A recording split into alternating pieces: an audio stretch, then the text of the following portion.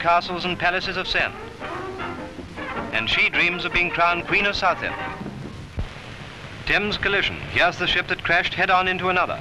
She's the Umtalia, liner of 8,150 tons, being towed to Tilbury with her bows badly damaged. She was outward bound to the Cape. And here's the other, the Corrientes, 6,800 tons beached. She got the full impact of the collision amidships, and the great hole in her side tells the story. Her flag is at half-mast for one engine room hand who lost his life. It all happened off Greenhithe during a fog.